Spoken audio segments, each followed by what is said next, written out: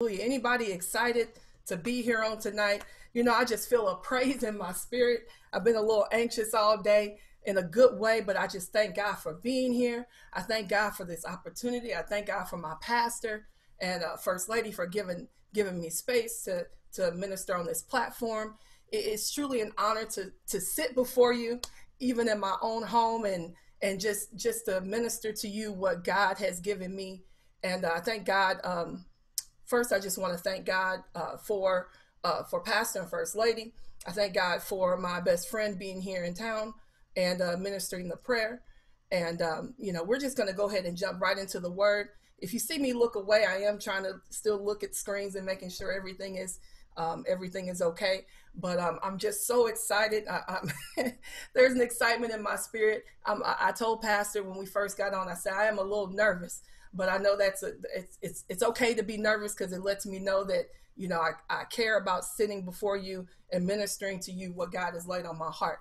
So I ask that you all will continue to pray for me as we go forward. I just want to give honor to also to my husband and to uh, any family members that may be watching, to everyone in their respective places. So we're going to just jump right on in into the Word of God. I hope you have your Bibles with you. We're going to be kind of all over the from front to back today, um, talking about um, seeking God. And and the title for tonight's message, and you know, you guys might like this title. The title for this message is What You're Looking For.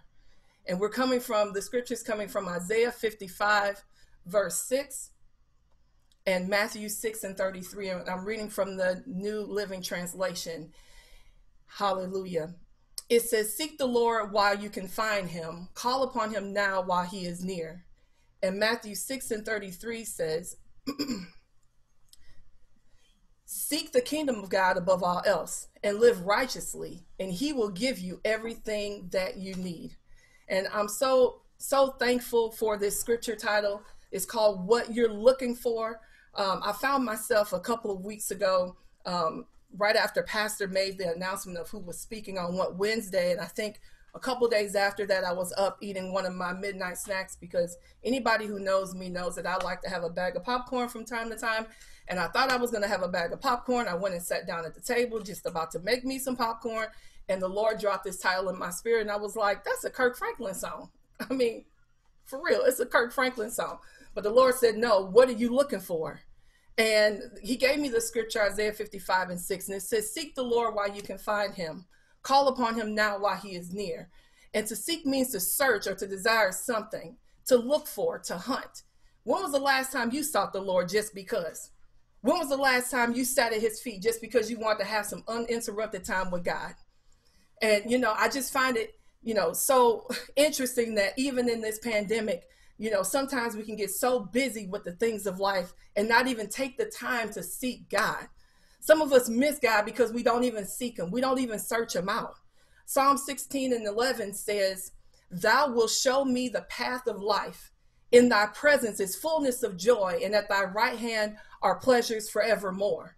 And, you know, I'm just reminded, and I, have given this example before um, in teaching, that sometimes my dad will call me and he'll say, Oh, um, you know, he'll talk to me on the phone and we'll have good conversation. But you know, he'll say, well, when are you coming by the house? And I say, oh, I'll, I'll be over there, you know, this weekend. And can I just tell you all, if I go over to the house, I stay for five minutes, I stay for two hours. Between my mom and my dad, they're always trying to give me something. I'm not even asking for it. I'm just over there communing. I'm just over there talking. We just over there laughing. We just over there having a good time. And before I get into my car, I got bags of stuff. I got bread. I got peanut butter. I got food. It's, I didn't even ask for it. It's, it, it's the exact same way when you're in the presence of God. It's, it's fullness of joy. If you don't have joy in your life, get into the presence of God. If you don't have peace in your life, get into the presence of God. If you don't know what to do, get into the presence of God. And it's at his right hand. You know, those things, you know, if, if anyone ever grew up with grandparents, grandparents are always, grandpas are always sticking their hands in their pocket, giving out a piece of candy to the little kids. They're pleasures forevermore, those sweet things in life that, that you didn't even know you even wanted. You didn't even know you wanted that little snicker that grandpa had. you know, in his pocket. You know, you didn't even know you even wanted that that lollipop that he had, but he just gave it to you because he loved you, and you spent time with him, and you hugged him, and you loved on him. It's the same way when we're in the presence of God. So I'm here tonight to ask you what you're looking for. Don't don't get it twisted. Jesus knew about Job 14 and 1. He knew that man that is born of a woman is of a, of a few days and full of trouble. But I'm here to remind you tonight that Jesus is the answer. Amen. Mm-hmm. So you can just type that in underneath at the bottom of the screen that Jesus is the answer. So Matthew 11 and 28, and I'm coming from different versions of the Bible, so just please bear with me. I just went with how God gave it to me. Matthew 11 and 28 says, Jesus said, Come to me, all you who are weary and carry heavy burdens, and I will give you rest. And and you know, it's interesting because I think that Jesus knew that we needed him. If he if we didn't need him, he wouldn't have asked us to come. He, he had to have known that we would have bouts of weariness, that we would carry heavy burdens, and that we would need rest. Oh, you might be saying, Sister Fariga, I'm good. You know, I've been on quarantine since March. I'm straight. No, let me tell you, before quarantine, I was weary. Okay, let me give you some definitions. So, uh, being weary is feeling or showing tiredness, especially as a result of excessive exertion or lack of sleep. That was me. Yep, lack of sleep yeah, tired, yeah, wanting a break. I didn't know I was gonna get a three month break. I, I had no idea. Amen. Uh, okay, maybe you're not weary, maybe you're burdened. A duty of misfortune that causes hardship, anxiety, depression, grief, things being a nuisance to you. That's that can that can burden and weigh you down.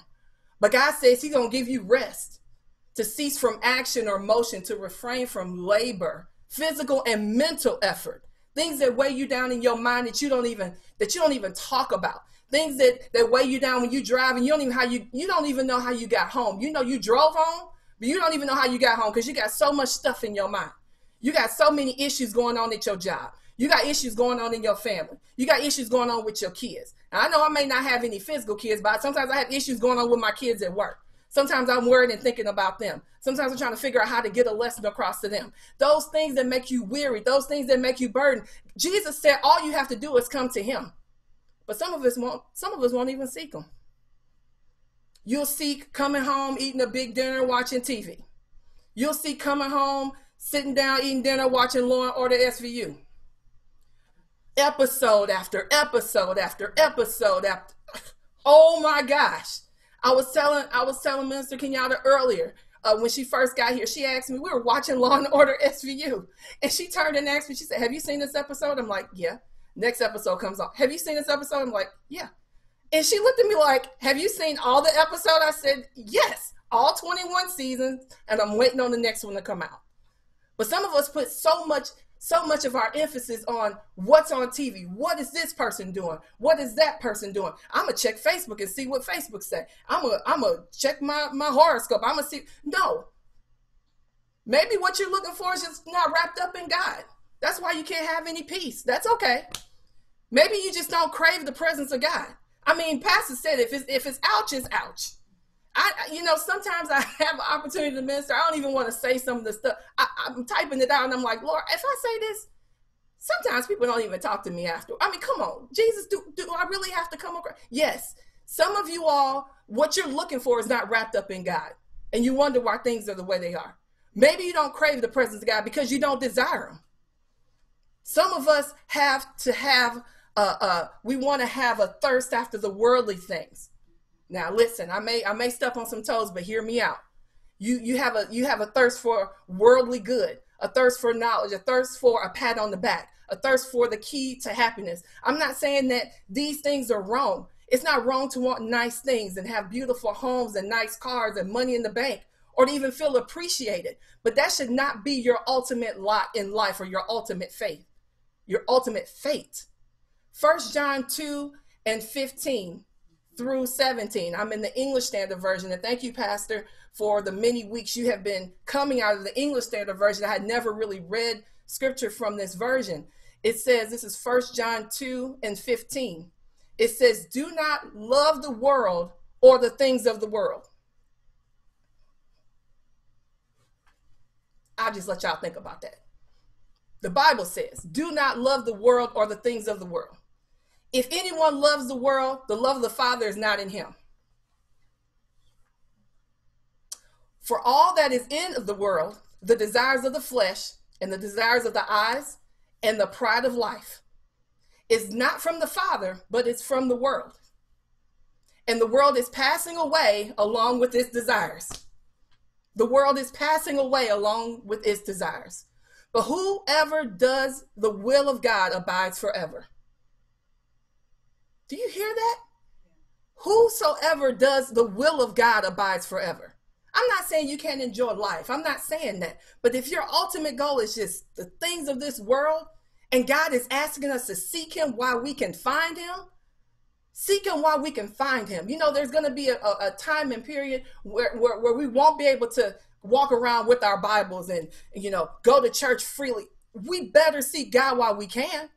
It's not always look at us now. We're having church on a on the internet platform. We can't even we can't even have regular service in our in our buildings because we we're in this pandemic. You better seek him now while you can, while you have life in your body, breath in your body. Matthew 5 and 6 says, Blessed are they which hunger and thirst after righteousness, for they shall be filled. So, what do you hunger for? What are you thirsting for? Psalms 42 and 1 says, As the deer longs for the streams of water, so I long for you, oh God. Have you ever seen a deer? You know, like Brother Perry, we sit and watch these shows on TV sometimes, and I'm like, why am I watching this? These nature shows. I never would have watched them before. And I'm sitting there looking like, look at this deer. He has no idea what's around him. He wants that water so bad, he drops his head down to that little lake or that pond, wherever he is, and he is trying to get as much water as he can. He's just so thirsty. That's how we have to come after God. That's how we have to seek him. We have to long for him. We have to desire for him, not to get anything. It's for the relationship with God. Psalm 63 and 1 says, Oh God, thou art my God. Early will I seek thee. Early. Early. That's like like the first thing you do in the morning, like early Will I seek thee after you hit snooze about 15 times? No, before that. Early will I seek thee. My soul thirsts for thee. My flesh longs for thee in a dry and thirsty land where no water is. Water signifies birth and life and represents cleansing and life-giving action of the and the life-giving action of the Holy Ghost.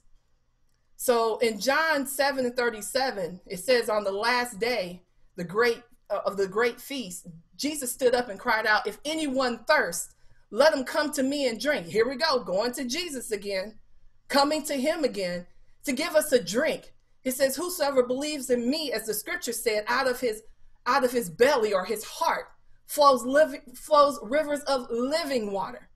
Living water. Oh my gosh, like we can have the living water flowing out of us if we would just seek him, he'll give us a drink. Titus 3 and 5 says he saved us not because of the righteous things we've done, but because of his mercy. He washed away our sins, giving us a new birth and a new life through the Holy Spirit. And which leads me to Ephesians 2 8 and 9 says, For by grace have you been saved through faith. And this is not of your own doing, it's a gift of God. It's a gift of God, it's from God, not a result of works, so that no man, no man can boast. It's not going to come from man. This salvation that I'm talking about, it, it can't come from anybody. It doesn't come from anybody walking around down here. It comes from God. God, Jesus died on the cross so that we could have salvation through him. And it's not going to come through your works or how nice you are, how sweet you are to people. You helping little old ladies across the street six feet apart, social distancing. It's not going to come through all of that. It only comes through faith. You're saved by grace. Amen. So you remember in John chapter 19, I'm just going to take you back. We, like I said, we're kind of all over the Bible tonight. In John chapter 19, verse 32, when Jesus was crucified, and we, we're just talking about water, the significance of water. When Jesus was crucified, that the soldiers broke the legs of the other two that had been crucified. But when they got to Jesus, they went to go break his legs. They couldn't because Jesus had already died. And he was just literally fulfilling the scripture in Psalms chapter 34, chapter 34, verse 20 that, that, that his bones would not be broken and he would be protected.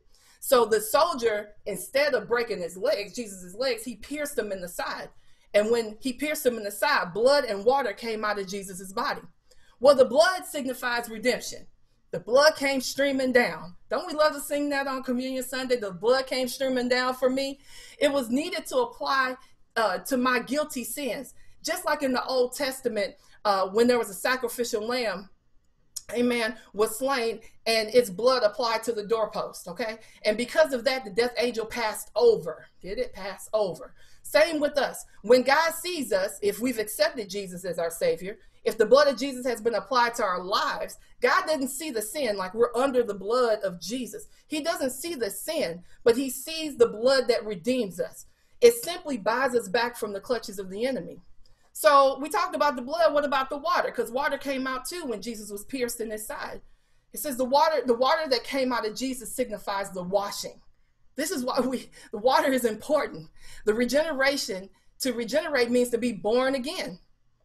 So the water that came from Jesus' side causes us to be born again or reborn, to live again, and completes what Jesus said in John chapter 10, verse 10 I am come that they might have life and have it more abundantly. He gives us he gives us that life, the, the, the opportunities to live and to, to flourish and to have success. It comes through God. So I'm telling you that where no water is, there's no life. But in order to get to the water, you got to see God. You can't you can't bypass and go a different way and be cool and be sweet. You have to come through Jesus. So again, I ask you, what do you have a hunger for? What are you thirsting for? Again, we're back to the same scripture, Psalm 61, 63 and 1. It says, Oh God, thou art my God. Early, there's that word again. Early will I seek thee. My soul thirsts for thee. My flesh longs for thee in a dry and thirsty land where no water is.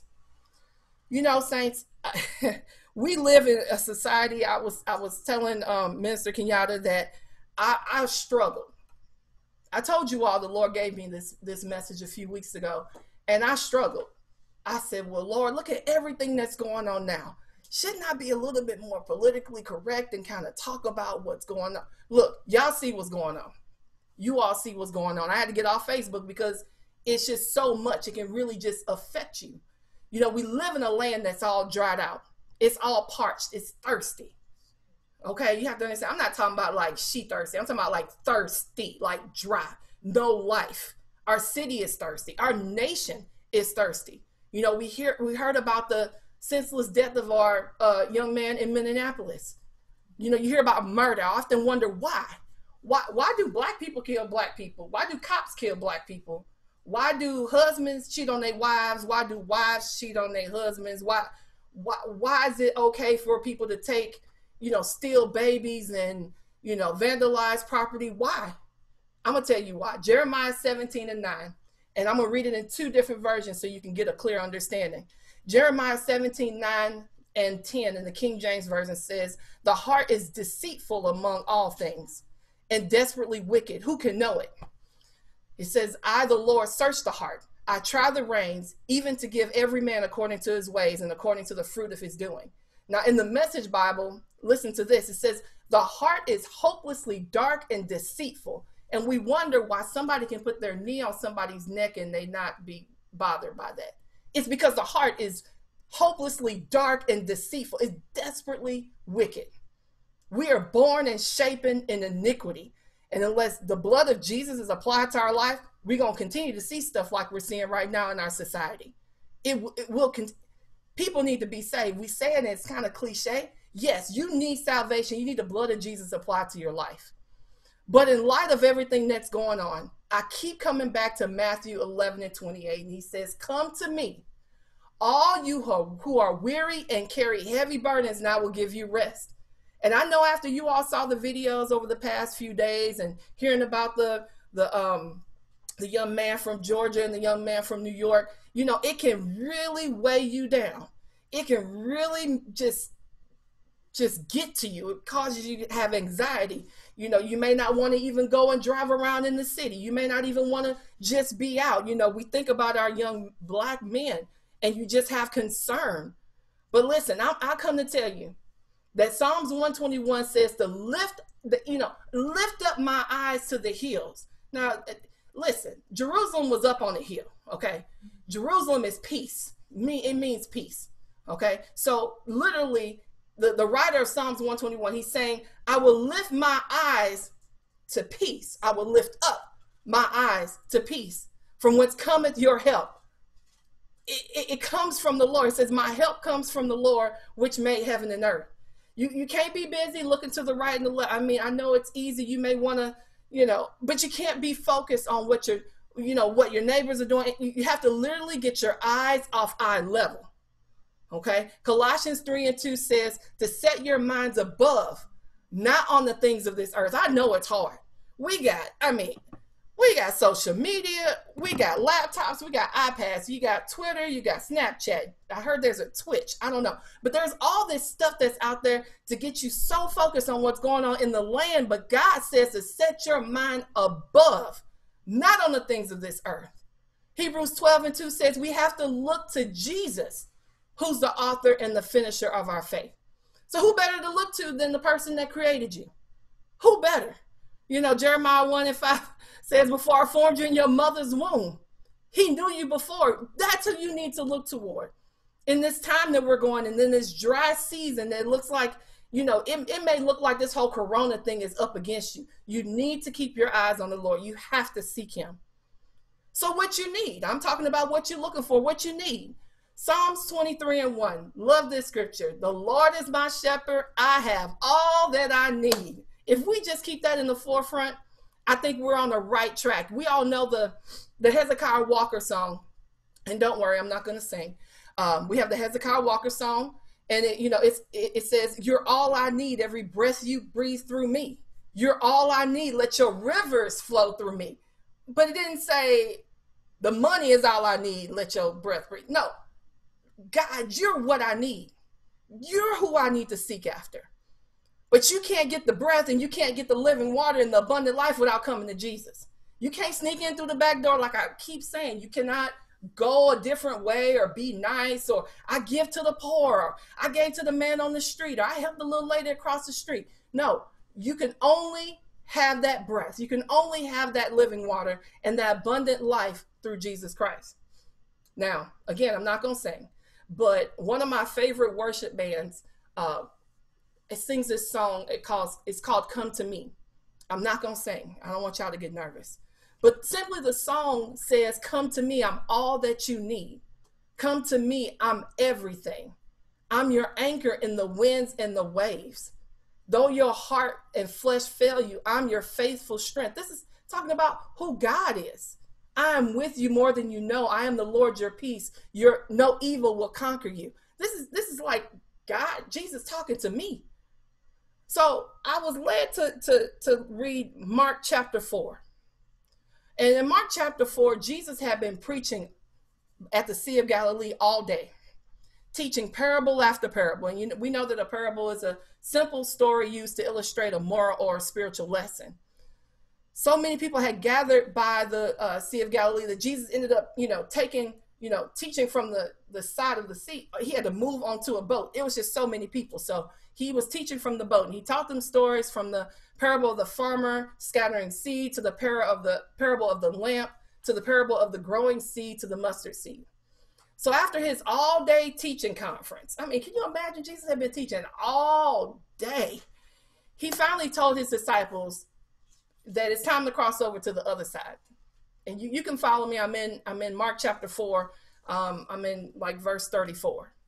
It says, so in verse 36, they headed out and others followed followed them. So, you know, just just know that, you know, if you if you're hanging around with Jesus and he he makes a sudden move, people gonna follow. If you're doing what God's telling you to do, people gonna be watching and following you and trying to see what are you up to. And the Bible says that soon a fierce storm came up. It's interesting that Jesus would decide to cross the Sea of Galilee, which was known to experience sudden storms due to its low-lying position and surrounded surrounding hills. So I thought it was interesting that, you know, sometimes this dropped in my spirit that sometimes the Lord will take you in a direction that's prone to storms to test your faith. Sometimes. Um, I'm a school teacher. I teach orchestra. Yes, that's a class. I teach orchestra and we give tests. And typically when I give a test, I don't say anything. I'll say, okay, first violins, here are your measures, go. I don't I don't coach the kids. We don't do anything extra. They play. Now is not the time to ask a bunch of questions. It's not about this, you know, I, I can't answer any questions for you right now. Now's the time to see what you're going to do in this test. And that's what God's telling us Sometimes he has to put us through a test and he's going to sit back to see what have you learned so far since you've been with me. And here they are in the middle of the Sea of Galilee, in the middle of a storm, so intense that the Bible says it was fierce, that it was powerful and destructive.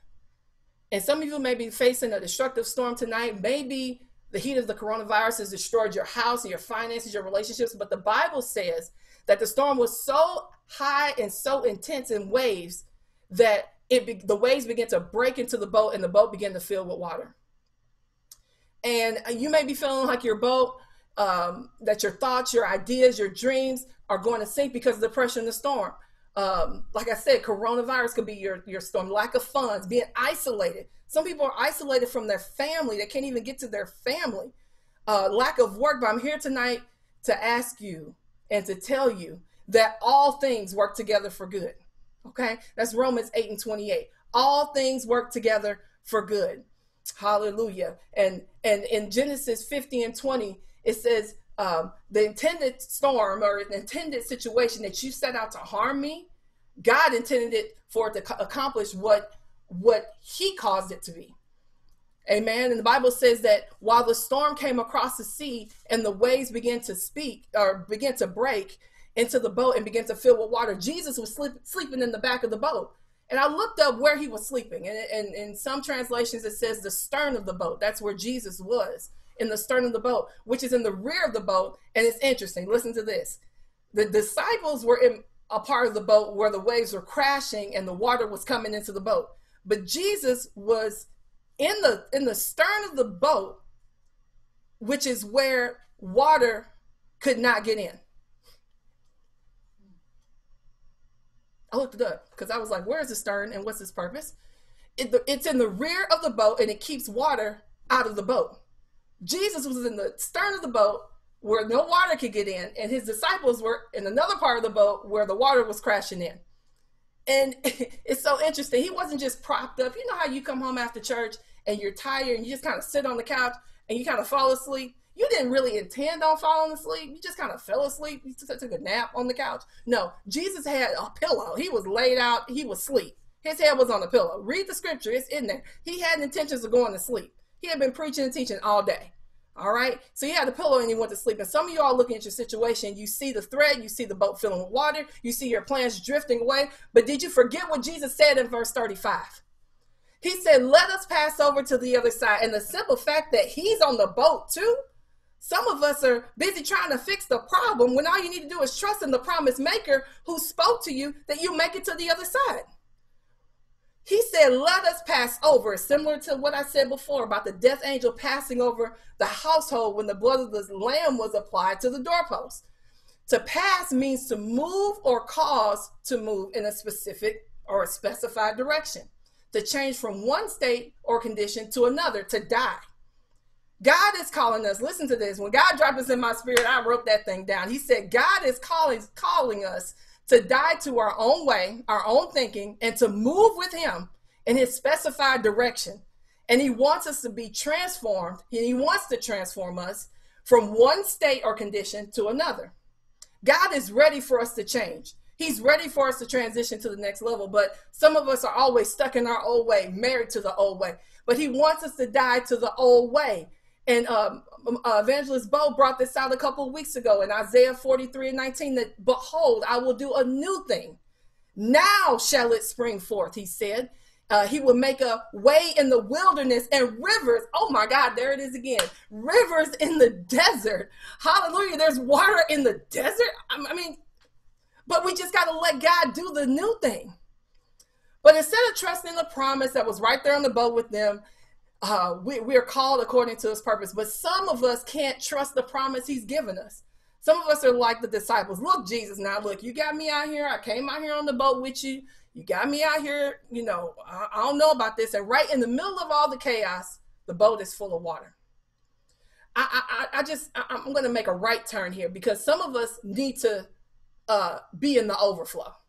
Some of us need to let the water crash and hit us. Okay. Some of us need, and when God brought this to me, I was like, Jesus, oh my God. Some of us, you need to be knee deep, ankle deep, and knee deep in water. Okay. No stimulus check, you know, for God, for God to give you exactly what you need. God give you exactly what you need. I'm reminded of the prophet Ezekiel, who received a vision from God concerning the restoration of the land in Ezekiel chapter 47. And in the first part of the, the chapter, in uh, just about every scripture, he uh, the the, the uh, Ezekiel writes, "He brought me back. He brought me out. He led me around. He led me through." And God told him that wherever the water flowed, the land would be healed, that the fish will be replenished, that the trees will grow and not wither, that the fruit would not fail, but the trees will bear fruit every month, that the living God will provide power to renew, restore, and resurrect life. So I'm here to tell you that if you allow God to lead you through the deep waters, now see, you still got to seek Him though. Don't forget about the initial conversation, like what you're looking for. You still got to seek Him. He will lead you through the deep waters of whatever storm you may be facing. He will do anything but fail you. Even though you may feel like God is sleeping on your situation, take comfort that Jesus is on your boat and that my God would do anything but fail you. He'll do anything but leave you. He'll do anything but forsake you. Maybe the disciples thought that uh, about the definition of the word sleep. And, you know, the definition of sleep is a little bit different than slumber. Slumber is like that really light sleep where, you know, if you hear someone open the door, you just uh, you just automatically wake up. But to sleep is to to rest in a state of reduced consciousness, reduced muscle activity, reduced interaction with surroundings like uh yeah, like I was asleep a little bit a little bit ago before Bible study, um, where you just don't even realize you wake up, you don't even know where you really are. But did they forget that what Numbers 23 and 19 says? It says that God is not a man. Did they forget that Jesus said we was gonna get to the other side? Like even though Jesus was asleep, the Bible didn't say he was slumber, he was asleep. Did they forget that he had just said a few moments ago that we're gonna get to the other side? The Bible says, Numbers 23 19, that God is not a man. That that could preach itself right there. He's not a man. That he should lie, nor the son of man that he should repent. Has he said and, ha- and will he not do it? Or has he spoken and will he not make it good? Isaiah 55 and 11 says that that so shall my word be that goeth forth out of my mouth. It shall not return to me void. That means it's going to do what it's supposed to do.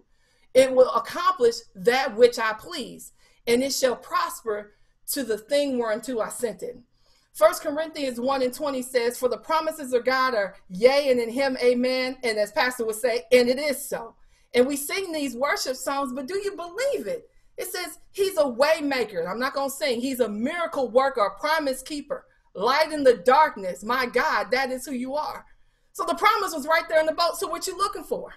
Are you seeking them? Are you are you seeking and following hard after him? but let me tell you, saints, I'm seeking the author and the finisher of my faith, who brought me out of darkness into his marvelous light. And if you know, it's interesting, if I can believe that Jesus' blood from 2000 plus years ago can save me, why can't I believe the very word to deliver me? That's two totally different things. I can believe that Jesus can save me, that his blood washed away my sins that I did in 99, 98, 97, 2002, all them years I've been alive, that the blood of Jesus can wash away my sins, but I can't believe that God can, can deliver me. I can't believe that God can deliver me out of this out of this boat with this water crashing in. I know why you're panicking. I figured it out, and it, this hit me hard. I know why I'm nervous. I know why I'm a bit frantic. It's First Peter 5 and 8. First Peter 5 and 8. And this is the amplified version. It says, Be sober, well balanced, and self disciplined. Be alert and cautious at all times. The enemy of your soul, the devil, prowls around like a roaring lion, fiercely hungry, seeking someone to devour. I figured it out. The reason why I don't seek God like I'm supposed to, or like I should be all the time, is because I'm not sober. I'm not being balanced. I'm not self disciplined. I'm not alert. I'm caught off guard. And I begin to flip out when the enemy is trying to attack me. Now, if you read the scripture, it says he prowls around like. Now, I'm no English major, but it didn't say he prowls around because he's a roaring lion. It says he prowls around like, like he has like characteristics. Like, you know, he may uh, growl like a lion or roar like a lion, but he ain't got no bite like a lion. Uh, he may uh, he may walk in a circle like a lion, but he ain't gonna pounce on me like a lion. So I'm over here freaking out over something that's got the attributes, but not even that that's not really a lion. Do you get what I'm saying? So this dropped in my spirit, and you all pray for me. Okay, so you all know Chris Tucker. He had a saying, Do you understand the words that are coming out of my mouth? And I'm here to ask you tonight, do you believe the word that's coming out of my word? Do you believe the word of God that's coming out of the word of God? When you seek the Lord, he'll tell you things like Jeremiah 29 and 11. For I know the plans and the thoughts that I have for you, said the Lord. Plans of peace and well being and not of disaster to give you a future and a hope. But you you flipping out over a little a little devil roaring like a lion. But Jesus said that he's going to give you a, a, expected hope and a, and, a, and a promised future. But how many you know, if you go back earlier in Jeremiah, Jeremiah 29, you know, it was from a letter from Jeremiah to the prophet, to the el- uh, Jeremiah the prophet, to the elders that were in exile, and to everyone that had been taken into captivity by Nebuchadnezzar from Jerusalem to Babylon. God said, Look, now listen to this. God said, Look, build your houses and live in them, plant your gardens and eat their fruit, get married and have kids, all while in exile. Seek peace in exile, and you'll find peace while you're seeking peace. God, that blew my mind. So God wants you to find peace in the midst of the storm. Amen. Listen, back in, in Jeremiah 29, he says, um, I, you know, I don't want you to listen to what everybody else is saying. I don't want you to listen to the false prophecy. God is saying this, and this is to the to the, the, the people back in, in in Jeremiah. He says, God will visit you. He will visit you after your 70 years have been completed of exile. Now, all this time they living. They they they getting married, they having kids, they planting planting fruit, everything. They living. After those 70 years are completed, God said, I will visit you he said, I will perform my good word, word, my good word, my good word towards you, that I will cause you to return to this place. And this place that he's talking about is Judah and Jerusalem. Judah is praise, Jerusalem is peace. So God is saying that when this time of exile has been completed, and I'm talking to us now, God will visit you God will perform his word that he spoke to you in your life, and God will give you and bring you back to a place of peace and praise. But you're not going to get none of that if you don't see God. You have to seek him now while he may be found now. Call upon him now while he is near. It's a condition to it. Amen. Let's go on. Jeremiah 29 and 12, and I'm almost done. It says, Then you will call on me and you will come and pray to me. This is God talking, and I will hear your voice and I will listen to you. How many times have you called somebody and you just talking and they ain't heard a word you said? They, they, they look up and say, Huh, what you say? God will give ear to you and listen to you. And then in verse 13, it says, Then with a deep longing, you will seek me and require me as a vital, absolutely necessary, essential just like, you know, we, we had to go out and shop and they said, you know, get your essential items, your water, your toilet paper, your paper towels, your Lysol. No, you're to seek God and he's to be an essential necessity in your life. And you're to find him. You're to find him when you search for him with your whole heart.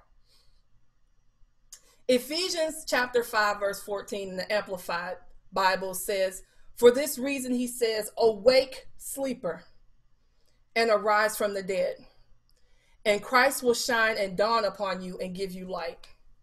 And uh, saints, I just I just want to say that um, before I turn this back over to Pastor, that this is this is prime time for us right now. I know we've heard a lot of teaching. There's a lot of preaching going on across the air, you know, across internet and social media. And uh, I've heard our pastor talk about revival. And sometimes when we hear the word revival, we think, oh, a five day, five days, and we have a speaker, and you know what? Not not that kind of revival. I'm talking about a revival of your soul. A revival of your soul. where God can, where you take the time and you seek Him with your whole heart.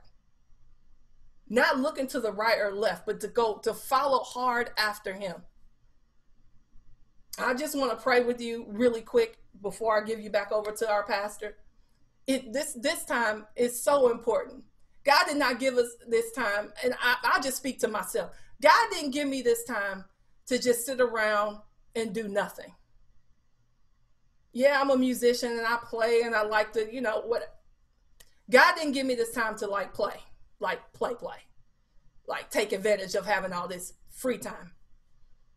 God, God, uh, to me, for me, He gave me this time to rest and to regroup.